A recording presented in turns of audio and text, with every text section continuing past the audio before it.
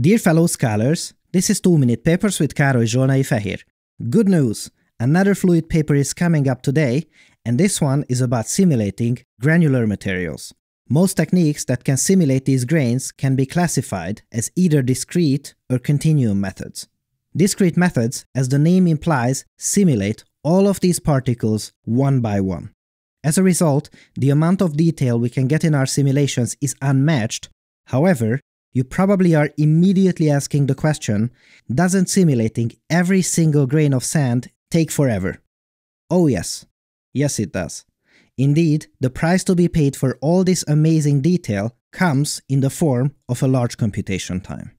To work around this limitation, continuum methods were invented, which do the exact opposite by simulating all of these particles as one block, where most of the individual particles within the block behave in a similar manner.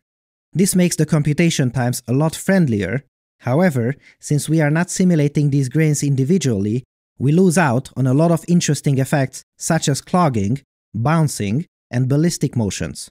So, in short, a discrete method gives us a proper simulation, but takes forever, while the continuum methods are approximate in nature, but execute quicker. And now, from this exposition, the question naturally arises, can we produce a hybrid method that fuses together the advantages of both of these methods?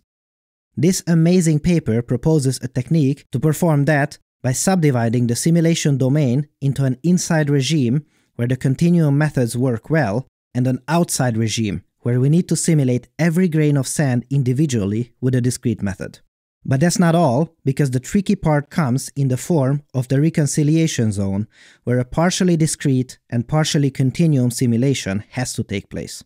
The way to properly simulate this transition zone between the two regimes takes quite a bit of research effort to get right, and just think about the fact that we have to track and change these domains over time, because, of course, the inside and outside of a block of particles changes rapidly over time. Throughout the video, you will see the continuum zones denoted with red and the discrete zones with blue, which are typically on the outside regions. The ratio of these zones gives us an idea of how much speedup we could get compared to a purely discrete simulation. In most cases, it means that 88% fewer discrete particles need to be simulated, and this can lead to a total speedup of 6 to 7 times over that simulation. Basically, at least 6 all-nighter simulations running now in one night, I'm in. Sign me up. Also make sure to have a look at the paper because the level of execution of this work is just something else. Check it out in the video description. Beautiful work. My goodness. Thanks for watching and for your generous support, and I'll see you next time.